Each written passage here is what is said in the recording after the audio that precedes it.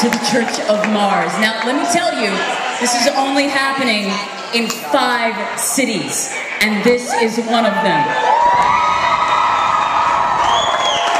Echelon, friends and neighbors, you are going to see something uh, very nice tonight. Now, uh, the guys came by, I don't know if you heard, they came by Radio 1045 today, uh, guest hosted with me. It was awesome. Tomo was hopped up on coffee.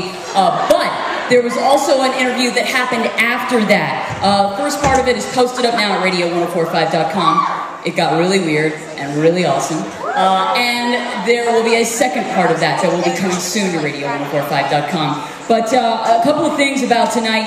Uh, now, if you pre-order Love, Lust, Faith, and Dreams tonight after the show at the FYE table, then you will meet the band.